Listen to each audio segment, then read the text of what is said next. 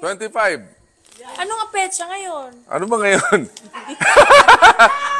Hindi, ano, Ano? pe- ano petsa ngayon? Anong petsa ngayon? Hindi, hindi picture lang. Ano? Eh, tanggapin mo na, advance.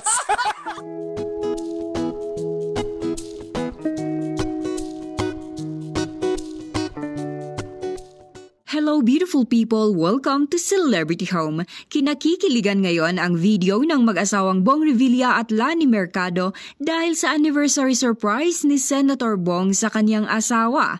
Happy anniversary mama ito ang kanyang caption sa kanilang video. 25th wedding anniversary nila ang March 25, 2023 at talaga namang kita ang saya kay Lani dahil sa effort ng kanyang asawa. Couple goal ito naman ang komento ng ibang netizen sa video ng mag-asawang ito dahil sina Bong at Lani ang ilan lamang sa mga celebrity couples na nagtagal ang pagsasama. Ito ang kanilang video na binahagi ni Bong Revilla sa kanyang Facebook page. Atin itong panoorin pero bago yan, maaari po kayo mag-subscribe sa ating channel para sa iba pa nating celebrity updates. Happy anniversary! Nakalimutan mo na?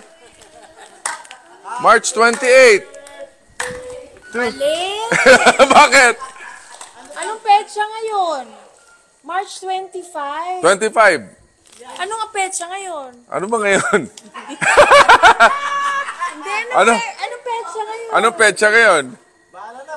Hindi, hindi picture lang. Ano? Eh, tanggapin mo na, advance. March 25. Ang bilis Nakalimutan mo, ha? talaga. Kita mo? Ki- de, de, kita nyo? Ang galing-galing niya. Di, anong, pe, anong petsa ngayon? March 25. Wedding anniversary namin Oh, sa kita mo, ha? church. Galing ko, di ba? Ngayon, Oh. wow! Anong year na natin? Ano ilang? 25 years. 1998! Oh. Teka muna, hindi. 25 years na tayo. Nako, 25 years. Yung sa church wedding. 1998, bilangin nyo. Oh. Boss, pinakasal ako asawa na. Congrats. Ayan, kita mo, ha? hindi ko nakalimutan. Tapos hindi nakalimutan. Ang galing talaga Ay, siya. Galing ko, ha? Galing-galing.